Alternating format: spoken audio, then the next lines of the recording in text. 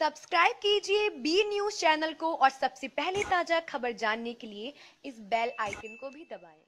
नमस्कार, मैं हूँ ब्रजेश कुमार सिंह और आप देख रहे हैं बी न्यूज़ कोरोना जैसे महामारी के बीच एक खबर ट्रेंड कर रही थी, एस्ट्रोनोवा उल्का पिंड आखिर उल्का पिंड पृथ्वी की कितनी दूरी से गुजरा आपको बता रहा अंतरिक्ष से आ रहे एस्ट्रोरॉयड ने उन्नीस सौ अंठानवे ओ आर टू धरती के बगल से गुजर गया। इससे पृथ्वी को कोई खतरा नहीं था, क्योंकि यह धरती के करीब तिरसठ लाख किलोमीटर की दूरी से गुजरा है। इसके पहले यह एस्ट्रोनॉइड 12 मार्च 2009 को दो दशमलव छः आठ करोड़ किलोमीटर की दूरी से गुजरा था। अब धरती के लोगों को घबराने की कोई ज़रूरत नहीं है, क्योंकि इसके गुजरने के साथ ही दुनिया भर के वैज्ञानिक ने चैन की सांस ले ली। हालाँकि इस पर अध्ययन जारी रहेगा।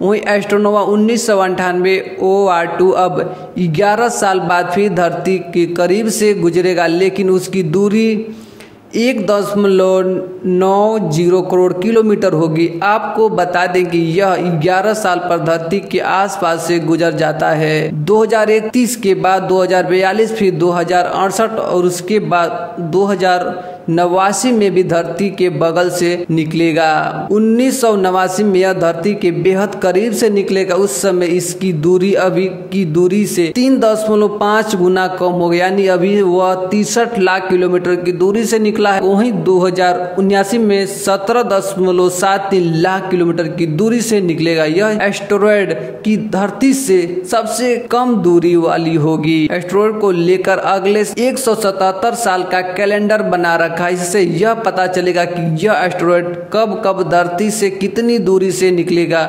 आपको बता दें कि वैज्ञानिक ने एस्ट्रॉयड को लेकर अगले एक सौ सतहत्तर साल के कैलेंडर बना रखे। इससे पता चलता है कि यह एस्ट्रोनॉइड कब कब धरती से कितनी दूरी से निकलेगा? दो के बाद एस्ट्रोनो उन्नीस सौ अंठानवे ओ आर टू साल इक्कीस में पृथ्वी से करीब पच्चीस दशमलव एक एक लाख किलोमीटर की दूरी से निकलेगा। वैज्ञानिकों ने इससे पी एच ओ की श्रेणी में रखा है। और भी खबरों देखने के लिए इस बी न्यूज़ चैनल को सब्सक्राइब करिए। वीडियो अच्छी लगती है तो लाइक करिए। मिलते हैं फिर एक नई खबर, नई जानकारी के साथ। तब तक के लिए नमस्कार। जय हिंद।